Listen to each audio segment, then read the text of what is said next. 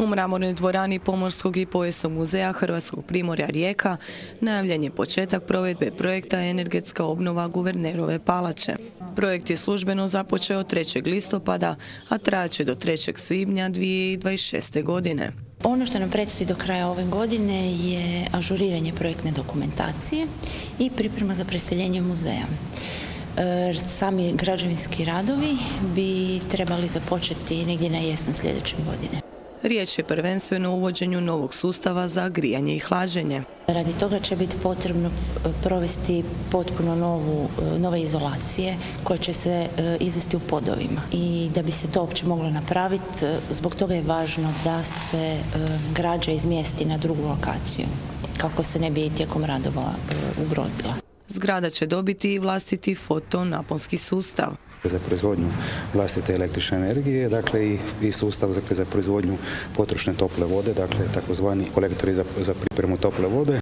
Osim toga radit će se nova izolacija krovišta, protupožarni sustav te unutarnja stolarija.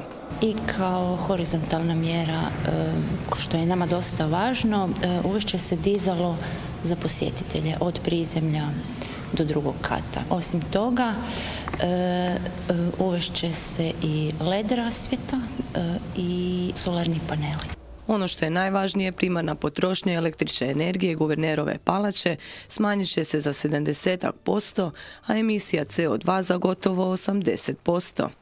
Tim projektom će dakle ovaj povijesni objekt dakle koji je izuzetno bilo teško pripremiti za ovaj za energetsku obnovu dakle biti praktički objekt gotovo nulte potrošnje električne energije odnosno zanemarive potrošnje električne energije, a ujedno će biti ja bih rekao dakle za sve posjetitelje dakle objekta puno ugodniji i primjereniji za korištenje. Radi se o projektu vrijednom više od 3,5 milijuna eura.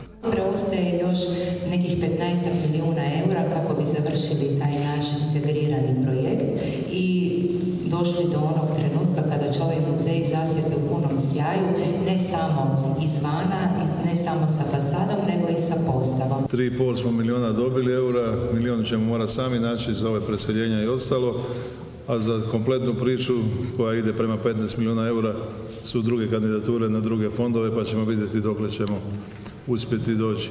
U sklopu obnove okoliša danas su započeli radovi na obnovi zapadne fontane u Perivoju Palače.